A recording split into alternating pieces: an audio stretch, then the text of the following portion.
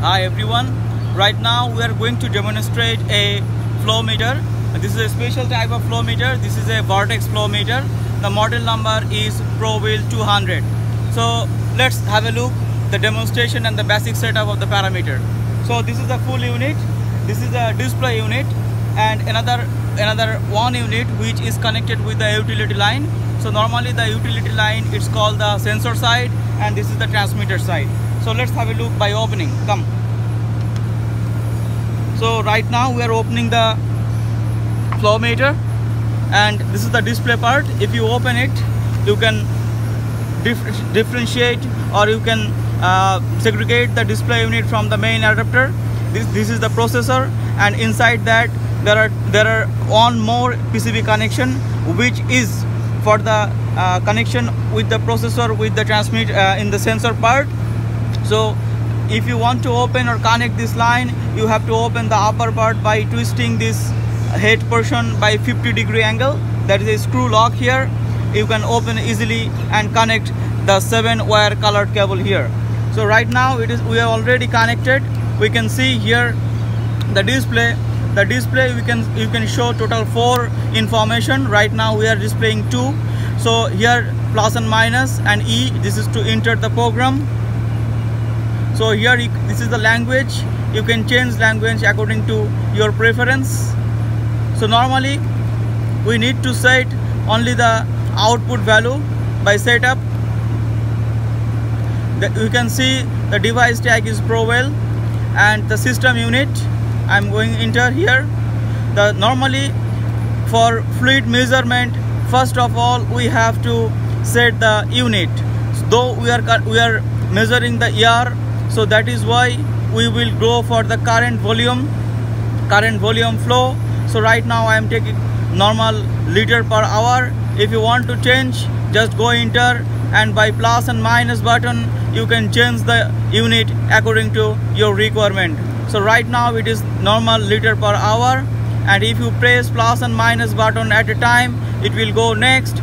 So system unit you can first of all there is another uh, section to medium selection. This is the very urgent and important important wizard. So right now it is selecting medium gas. If you want to measure steam liquid or gas whatever you need you can choose accordingly. So right now it is in gas. So after that accept it.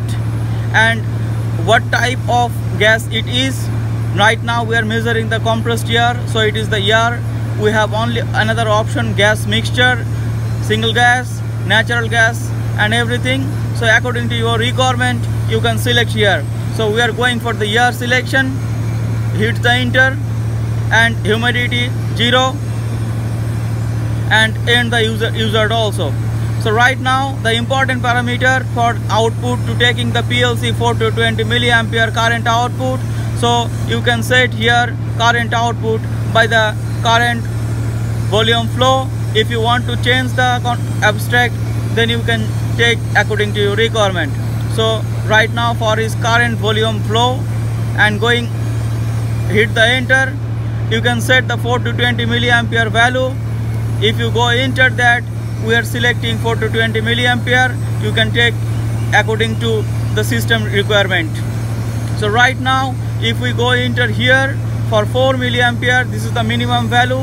The system will send 0 uh, liter per hour and for 20 milliampere it will set the maximum value. So here the maximum value is 27 270 uh, 2740 liter per hour. So this is our requirement. So we have set here if you want to change then you just plus and minus and select the value whatever you need.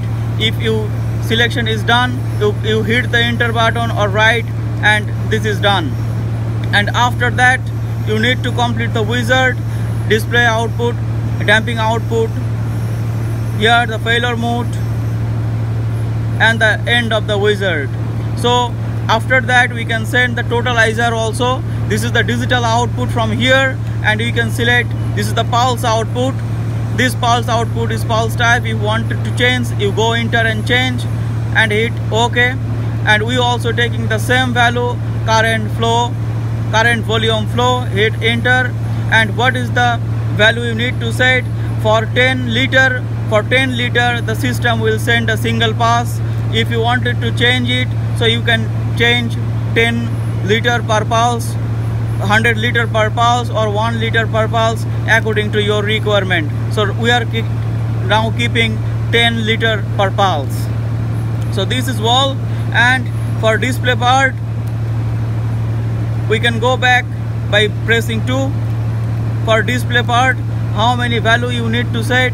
Right now we want to see we want to show the two value at a time. So format display is 2 here accept it. Accept it. Accept it. Okay. Done.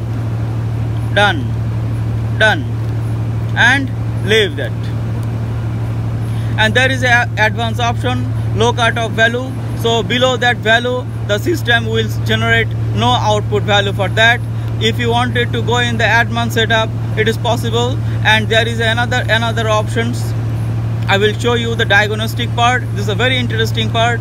This through this diagnostic menu you can simulate the value from here. You can see simulation. This is the simulation.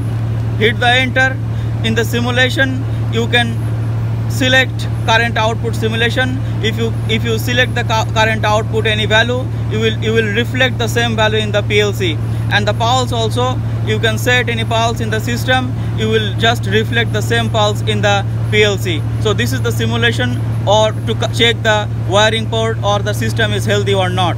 And by this this is the basic setup.